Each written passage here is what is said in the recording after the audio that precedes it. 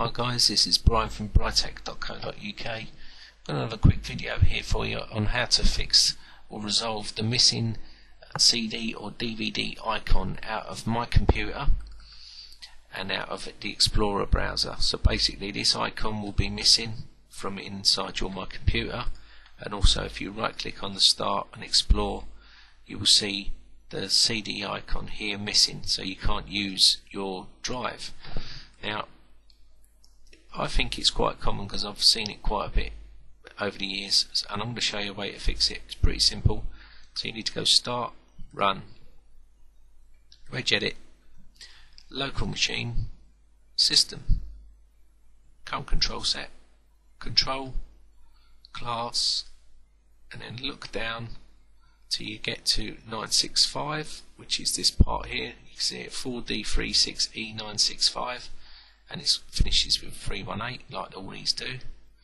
Okay, look along the side right hand panel and you will see upper filters which is there. You need to delete that and you need to look at for the lower filters now and you need to delete that one as well.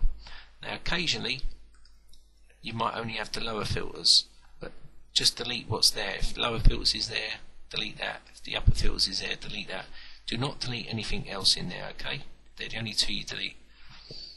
Now, if you're not comfortable about going into the registry and doing that, then I'm going to put a link up in the actual description there for this file and it's been created by Doug Knox and I'm going to right click and edit this and show you what it does. Now this basically does a bit more than the upper filters and lower filters. It actually deletes these files here as well which is also a chance for it to fix your problem and all it will do is it will delete the upper filters and lower filters. And as you can see there and Doug Knox is a recognized uh, recognized person that fixes computers and he's pretty good. Go over to his site and have a little look and you'll see what I mean. Okay so I'll leave the link for this and you can run this and it will actually fix your problem. Now if this doesn't work which sometimes occasionally I have come across it where it doesn't work you're going to have to go to plan B and shut the PC down, pull the power lead out, open the side case and actually uh, get yourself to where the actual CD cable is. Now